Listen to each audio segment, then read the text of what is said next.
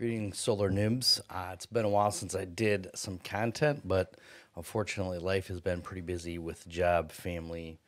You all know how it is out there. So today, I'm going to do a brief overview of the Renogy M1, or sorry, Renogy One M1 um, system. So for those of you that you primarily have Renogy equipment, uh, this thing connects right to it. It connects in several different ways, and uh, it can be powered both by the battery and something very cool. Let you let me show you something here real quick. This is actually what it looks like live, and you're like, wait a minute, Aaron. Like, there's juice. How are you doing that? Well, it also has a USB C connection. So, how cool is that? Look at this. Talk about totally portable and battery powered. That part is pretty slick. So it's a energy monitoring. It's my smart device control system. Um, pretty much, if you have any type of uh, Renogy smart energy products, you'll be able to use this one. Um, and MSRPs, I think, for like $250. I watched for sales on the app actually, because uh, the sales on the app seem to be just a little bit better than like the regular website. So if you're a you know, if you have the DC Home app, you get maybe like a two to five percent extra discount on some things. So it's kind of cool. So 250 normal price. This one um, I got for I think 150 something, maybe a little more, a little less, um, and ordering it through the app. So a little bit of discount on there. And as you can see, um, there's a lot of cool features about it. I think my favorite parts are the fact that you not only can, um, when you're physically there, see all the different things on the screen, and I'll I'll do a cutaway to a close up on some of the um, the information you could see from the screen. It also connects to the uh, DC Home app, right? And that's it right there probably the one I think I'm going to use the most is it connects to the Renogy One portal. Uh, so a web portal, and I'll, I'll, show another quick video of that with a little bit more description on everything you see.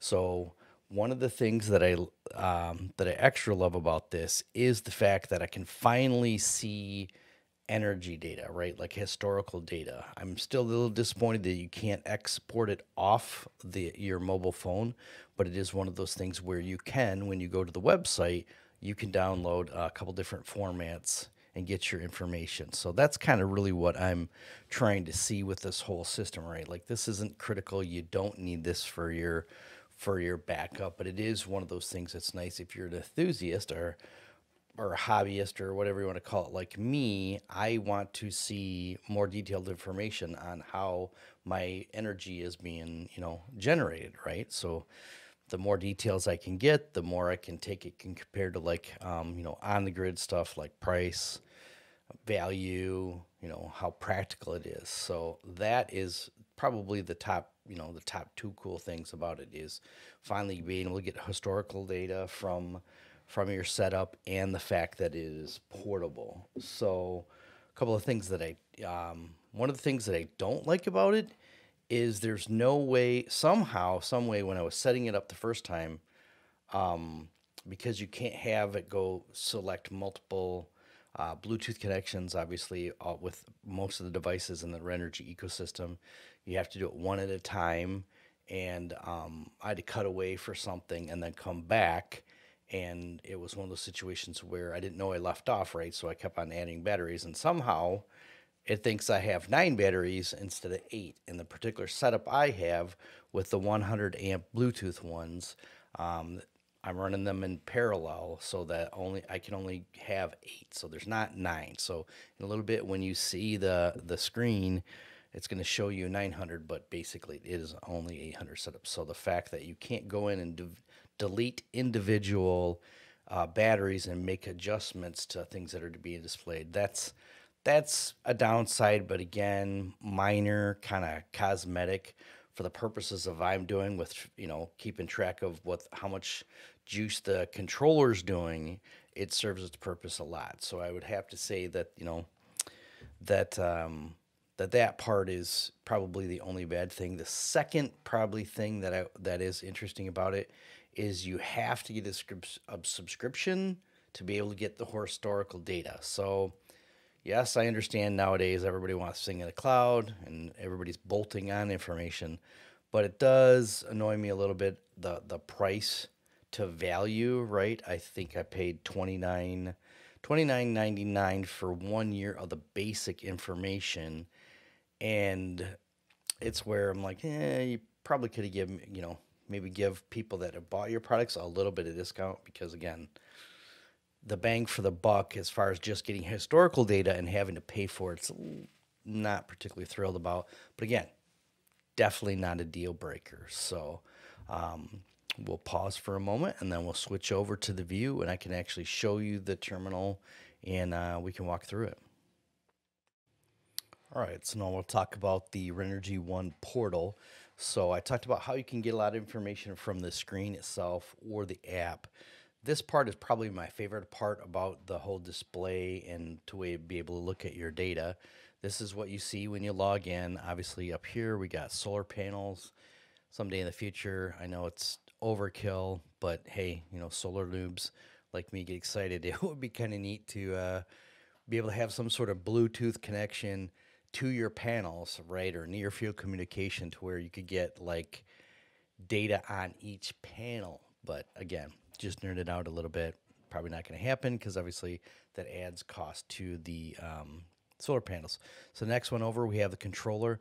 Right now, uh, a rare thing here in uh, winter in Michigan. The sun is shining, but it's actually pretty good. It's getting to show you uh, a little bit of detail about what's coming in. I have six 100 um, watt panels connected in series parallel. That's how I'm able to get it under the um, voltage or amperage. Can't remember without having stats in front of me. To where my Renogy um, Rover 40 can take, right? Because I think uh, on mine, it's 550 max solar input, and obviously no more than um, uh, I think 50 volts. Maybe it's 75 volts. I can't think of it offhand. But um, so that's where I want to max out the controller, right? So you can see right now sometimes I've got it close to uh, maybe 535 on a super sunny day in the summer. But this is where you can see, you really see the efficiencies of the panels, right? Where the panels up there are pretty consistent, but you know, six of them crank it out 100 watts each with a fairly sunny day. We're getting four, uh, four, uh, 446.5 watts. But what it is cool about that, it's uh, cranking out 429.04 watts into the battery. So then we got the battery bank information here. As you can see, it's showing nine instead of eight, but it's still basic information. Then you can click in here and go into my devices and it gives you a little bit more detailed information, right? So now we can see uh, information on the cells, temperature, stuff like that. If we get down to the controller, um, right here, it's showing us, you know, a lot more detailed information. Charging a battery at 30, 31 amps, which is pretty good. The most I've seen it, I think, is 37 or something like that. But, you know, pretty close to uh, what it's rated at. So that is kind of cool. And again, I'm not uh, Will Prowse or anything else. I don't get into detailed stats. This is just high level stuff for the solar rookies like myself. So finally, you break into energy data and this is the one where um, basically gives you your history, right? Solar yield history, and then um, you know it can it can also kind of forecast out. So if you wanted to click on it, um, I can't get it working right now, but I mean, you know, it can kind of forecast out what it what it thinks. Um, and then let's look at our most recent day. We actually finally had a couple sunny days in a row. So basically, total of 2,500 watts on that day. And we'll scroll down, power trend. Um, again, this is where you know it doesn't show the information on the inverter. I think the newer ones, the newer inverters are smart connected, but I only have the uh, uh, two uh, the Renogy 2000 watts setup, but this is kind of cool where it does give me a little bit more detailed information. So that is what the Renogy One portal looks at. So we'll switch over. All right, we switched over and we're going to finish things up real quick because, again, try to keep my stuff short and sweet. Overall, is this, you know, is this puppy worth $150 to an average person? No, probably not. But then again, oh, one thing I did forget about, sorry, my apologies, is these switches right here can be connected to smart devices. And that's where we talked about smart device control similar to you get with like uh, Philips Hue and other smart ones.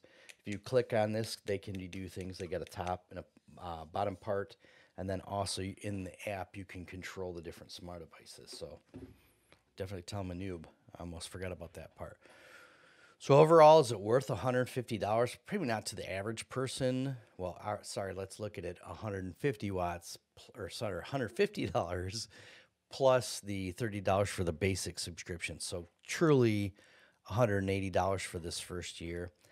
I think for the average person, probably not worth it, but to an enthusiast or somebody that's running a van, you know, like a van setup or a full off the grid setup instead of the office stuff that you see here, then it would be really worth it. I like it. I'll probably keep the subscription.